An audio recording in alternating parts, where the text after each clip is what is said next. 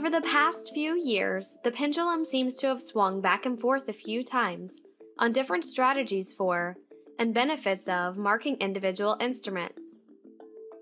The industry consensus seems to be that there is not a one size fits all that works for every hospital.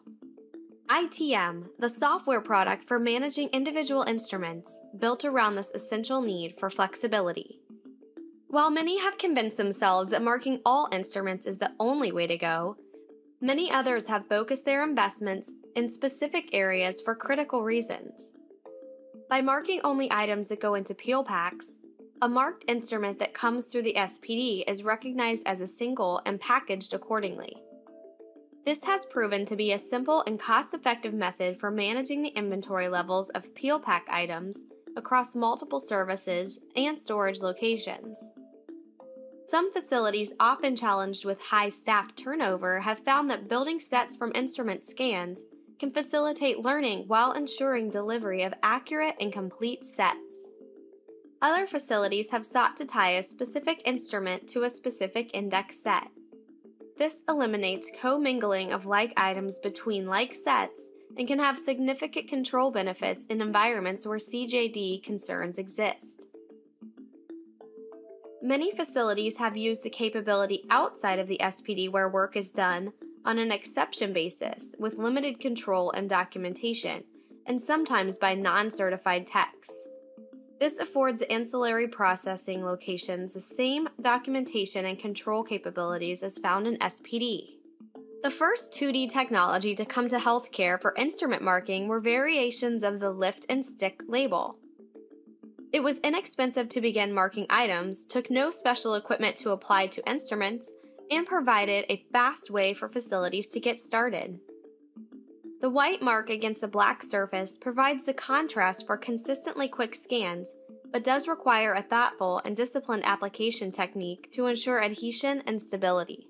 There are a few different laser based marking options that generally share similar attributes. When properly applied, the mark should not disrupt the surface of the instrument, should not complicate the cleaning, and should not alter the overall integrity of the device. Generally speaking, these have a longer lifespan and have demonstrated themselves stable regardless of the method of decontamination and sterilization.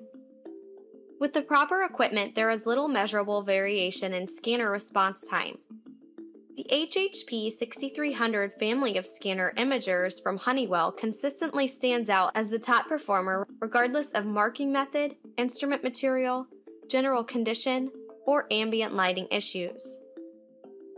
There tends to be a fairly logical sequence that, when followed, will guide the facility to the most appropriate method of marking.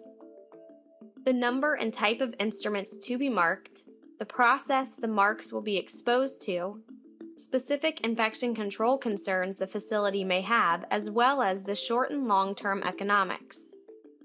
Your microsystems representative is prepared to assist you and your facility with the next steps that will make for a successful deployment. A thorough review of requirements and objectives is essential to get this process moving in the right direction.